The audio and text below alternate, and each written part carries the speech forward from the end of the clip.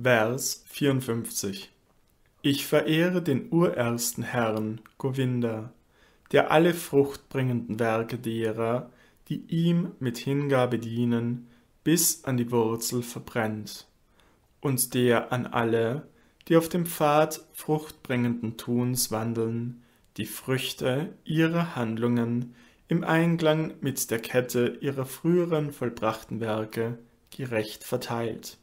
Dabei wird das winzige Insekt, das den Namen Indragopa trägt, nicht weniger beachtet als Indra, der König der Devas.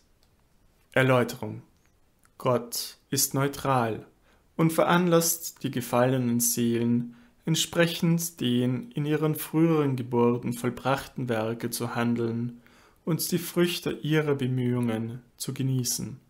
Aber aus seiner großen Barmherzigkeit mit denen, die sich ihm weihen, beseitigt er durch das Feuer der Prüfung die Wurzeln allen Karmas, Unwissenheit und üble Wünsche.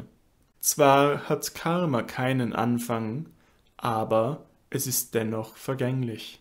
Das Karma derjenigen, die mit der Hoffnung auf den Genuss der Früchte ihrer Arbeit tätig sind, ist beständig und endlos und wird niemals vernichtet. Sannyasa ist ebenfalls eine Art von Karma, nämlich das Karma eines Ashrama, und bereitet Krishna keine Freude, wenn es Befreiung, das heißt das Einswerden mit dem Höchsten zum Ziel hat. Folglich ernten auch Sannyasis die Früchte ihres Karma.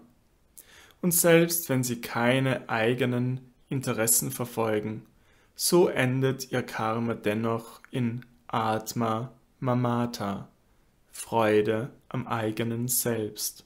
Diejenigen aber, die reine Gottgeweihte sind, dienen Krishna fortwährend, indem sie seine Sinne erfreuen.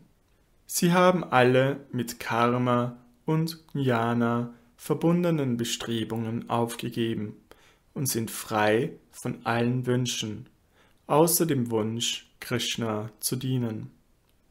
Krishna hat das Karma solcher Geweihten, ihre Wünsche nach fruchtbringenden Tun und jede Unwissenheit vollständig vernichtet. Dass Krishna, der eigentlich neutral ist, sich so sehr um seine Geweihten kümmert, gibt Anlass zu großer Verwunderung.